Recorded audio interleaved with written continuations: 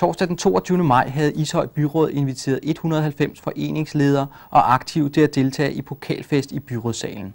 Der skulle i løbet af aftenen uddeles fire hederspriser til foreningsledere samt erindringsgaver til aktive, der i det forgangne år har ydet en særlig stor indsats.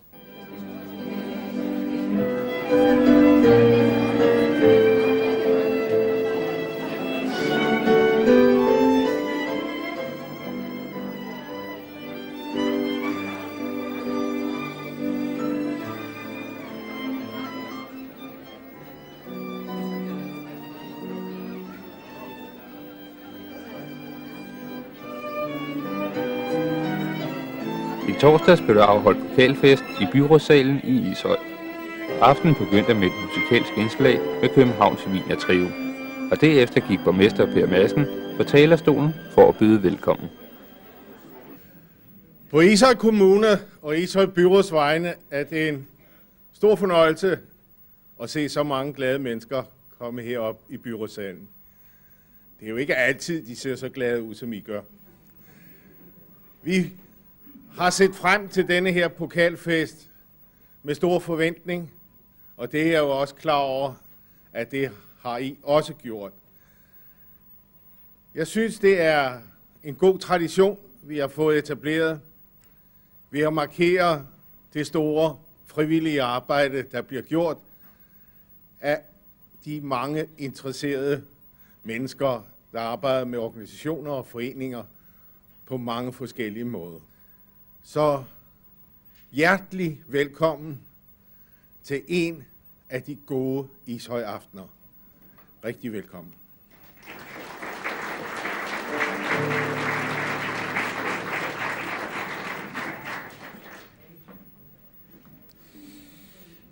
Den første pris, vi skal uddele i aften, er Idrætslederprisen, og den uddeles af viceborgmester og formand for Folkeoplysning, Folkeoplysningsudvalg, Ole Bjørstrup.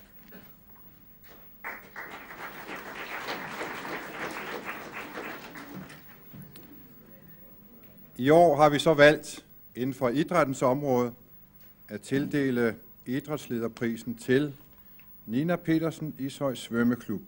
Og jeg vil bede dig komme herop.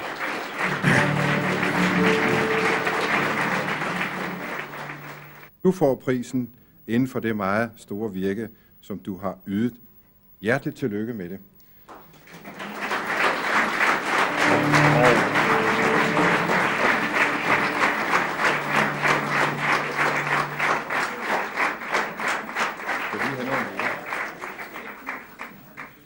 Der følger også sådan et flot tindkrus med, som du sikkert kan bære.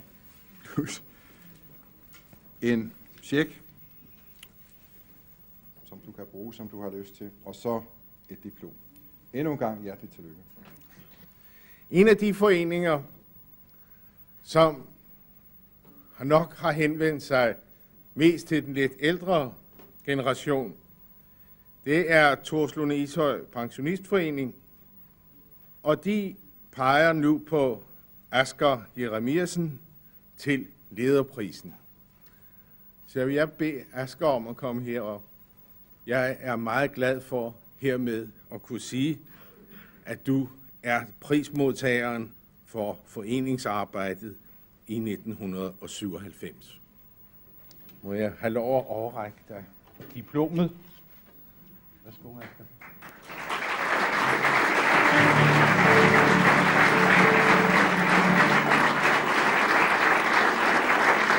Her er selve kuverten, og her er kruset.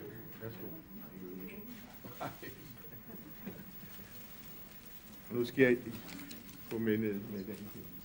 Ja, inden for børne- og ungdomsarbejdet, hvor der også er utrolig meget initiativ i Ishøj Kommune, har vi denne gang valgt at tildele prisen til Kim Sørensen. Hvis han er til stede, så skal han herop. Værsgo.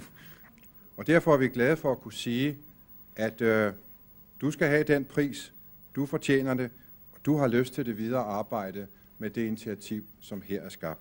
Tillykke med det.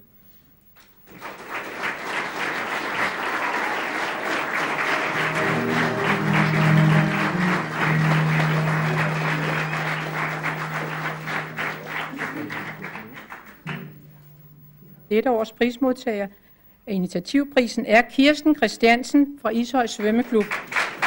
Og jeg vil bede dig at komme herop, Kirsten.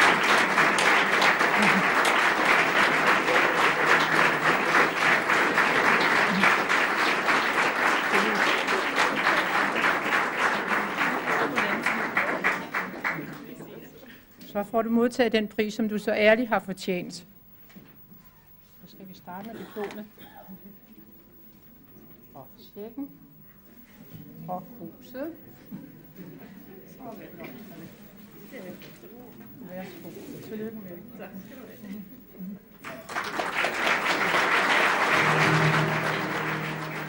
Efter prisoverrækkelsen skulle der så overrækkes erindringsgaver til personer, der har ydet noget exceptionelt i løbet af det sidste år.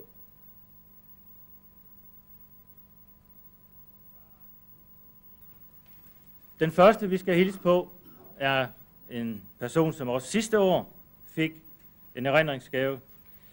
Det er Michael Catalan fra Konku Karate Dokai.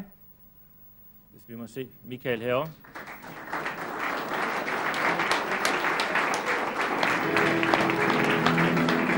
Lige et øjeblik, lige et øjeblik, Ja. Ja. Lige et øjeblik også. Det er således, at Michael er landsholdets yngste deltager med sine 20 år, men han er allerede nu udråbt som dets kata-specialist. Det er en speciel disciplin inden for karaten.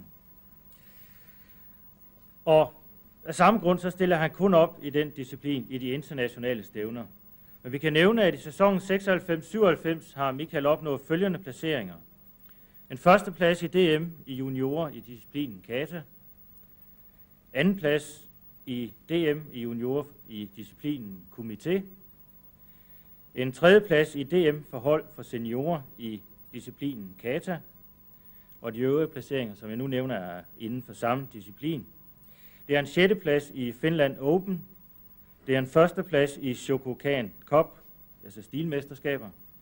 Det er en femte plads i Swedish Open. Det er en femte plads i Europamesterskabet for juniorer. Det er en første plads i Team Danmarks stævne. Det er en syvende plads i Holland Open. Og det er en første plads i DM for seniorer.